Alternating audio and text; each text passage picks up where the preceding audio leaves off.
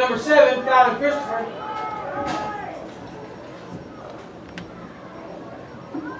Snap it. Oh, good stuff on that clock.